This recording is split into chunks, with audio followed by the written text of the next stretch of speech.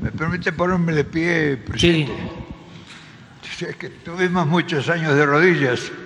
Y por eso, bueno, vengo en representación de 100.000 compañeros que están invisibles acá. Eh, nuestro modesto canal se llama Con Perón en el exilio. ¿Usted me da permiso para contarle una síntesis? Sí. Eh, la Argentina tenía un gobierno legal, constitucionalmente democrático, y una mañana un grupo de forajidos bombardearon la ciudad de Buenos Aires. Fue el 10 de junio de 1955. Mataron, ametrallaron a miles de personas, cientos de personas quedaron tendidas en la Plaza de Mayo para sacar al presidente constitucional, el general Juan Domingo Perón. Toda esa historia a nosotros nos llevó a cambiar la vida. Era un país que vivía en una fiesta, así como están ustedes viviendo en la fiesta esta de, la cuarta transformación.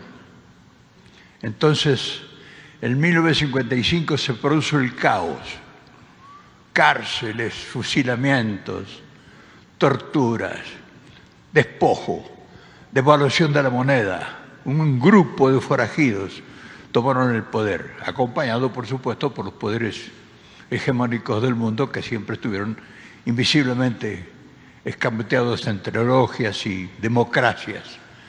Y todo el mundo fue a parar la dirigencia a la cárcel, los que no huyeron.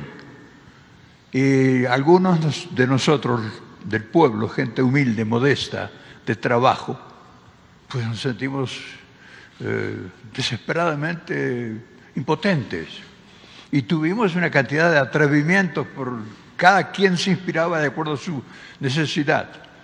Y claro, ahí es cuando aparecen los soñadores, los idealistas, del cual usted tiene mucha sabiduría de esto, y los románticos. Y entonces uno de esos locos lindos fue yo, tenía 25 años y dije yo voy a ver a Perón en el exilio.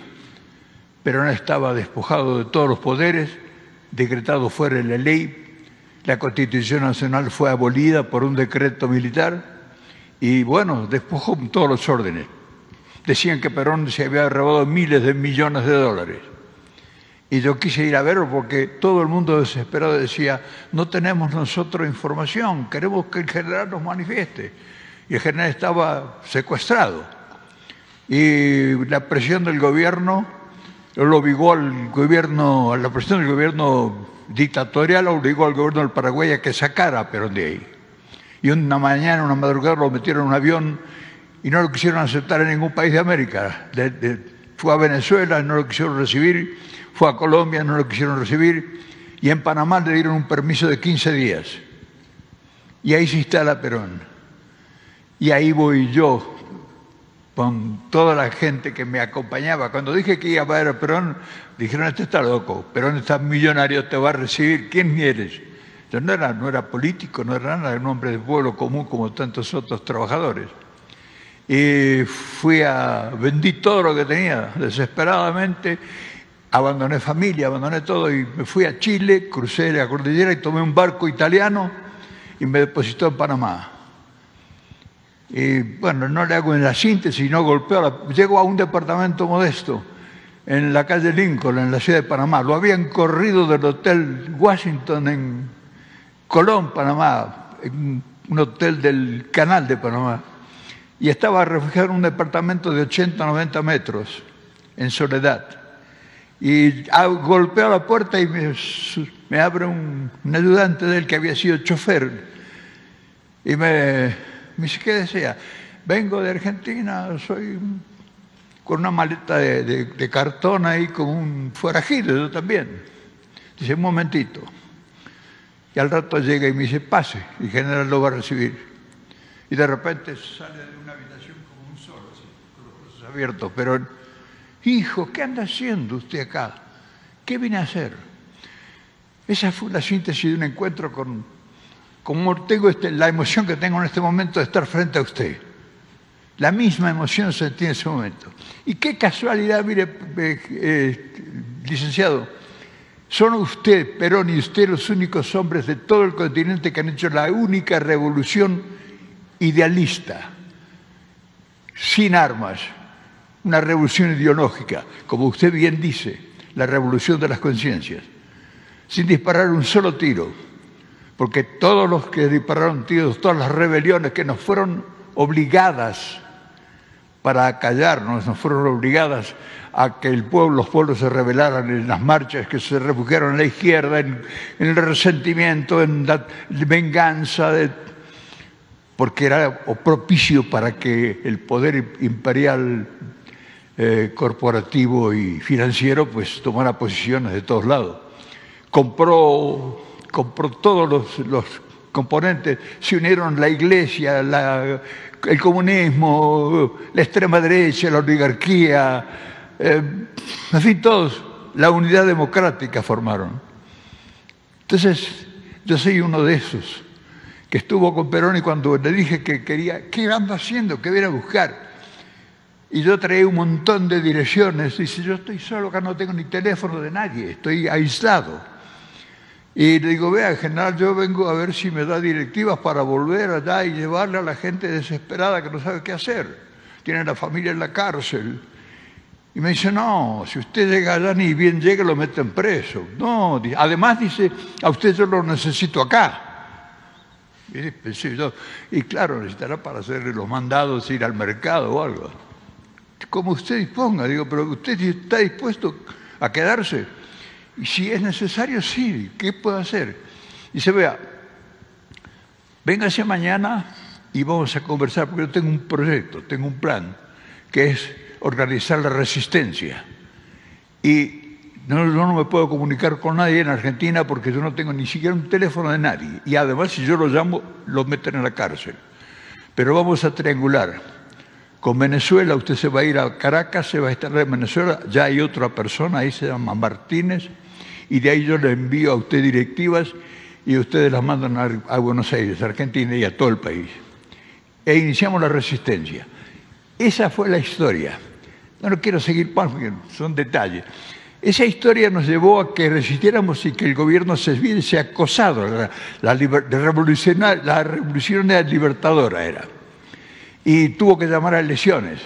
Pero claro, eh, querían darle un viso de democracia. Usted sabe que los libretos escritos para que todo parezca que no, que todo sigue igual, o sea, ese gatopardismo que es ancestral en nuestro territorio, hicieron un, amago de democracia, buscaron a uno de los que había sido un amigo de, de Perón y lo proyectaron para que fuera, para devolver la democracia al pueblo. Pero el peronismo estaba fuera de la ley y Perón estaba proscrito. O sea, el 80% del pueblo estaba fuera de la ley. Entonces nosotros no podíamos votar. Y Perón dijo, me dijo, incluso me dijo, nosotros podemos seguir votando en blanco. Tenemos que votar. Este hombre no nos va a poder cumplir, se llama Arturo Frondizi. No nos va a poder cumplir, pero por lo menos nosotros vamos a demostrar que estamos vivos, que estamos activos. Y así fue. Se hizo un pacto que no estuvimos de acuerdo, los que estábamos al lado de Perón, que éramos dos o tres, porque Perón ya lo habían expulsado también de Panamá y se había refugiado por un tiempo provisorio, Pérez Jiménez le dio una visa de turista, pero ni siquiera lo quiso recibir como refugiado político. Era el, petróleo de Venezuela de entonces. Y entonces eh, se hizo el acuerdo con Frondizi, se llevó al gobierno.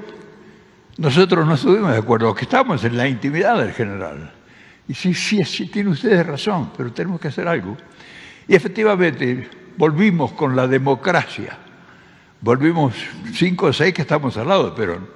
Y antes de tres meses era ya se nos hizo imposible seguir existiendo, nos perseguía por todas partes. Entonces eh, tuve que emigrar. Me fui en un camión que traía vino de Mendoza a Buenos Aires. Con el camión me fui a Chile, a Mendoza y después crucé a Chile.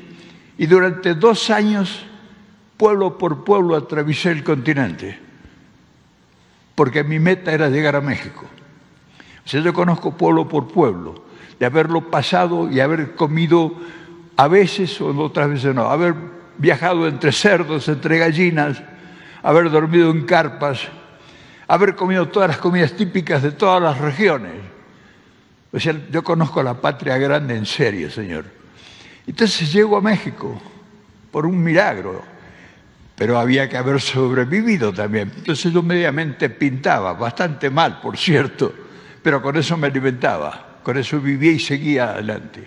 Llegué a México y México, pues, este es un paraíso que es superior a todo lo que ustedes creen que son, por la enorme capacidad intelectual de su gente, de su pueblo, por la intensidad de su grandeza cultural. Ustedes son en serio un atalaya en el continente. Todo el mundo ahora está atento, está atento viendo a ver qué pasa en México, porque en México ha habido establecimientos del continente. Entonces es hora de que yo recuerde aquellas tantas pláticas intensamente largas en soledad con Perón, que solamente la salvación nuestra iba a ser el continentalismo.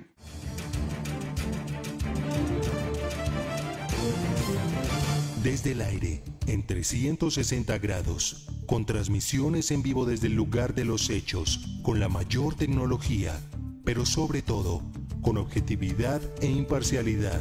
Noticiero en redes. Honestamente, te informamos.